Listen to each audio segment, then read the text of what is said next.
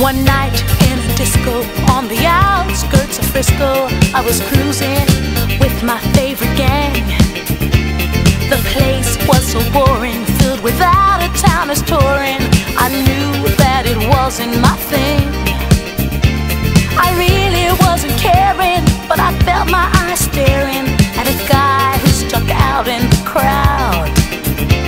He had the kind of body that would shame Adonis and a face that would make any man proud. Oh, what wow! He's the greatest dancer. Oh, what wow! Mm. Oh, what wow! He's the greatest dancer. Oh, what wow!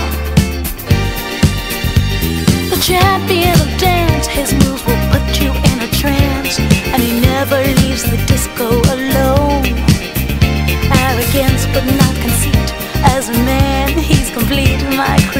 creme. Please take me home. He wears the finest clothes, the best designers, heaven knows. Ooh, from his head down to his toes. Halston, Gucci, Fiorucci.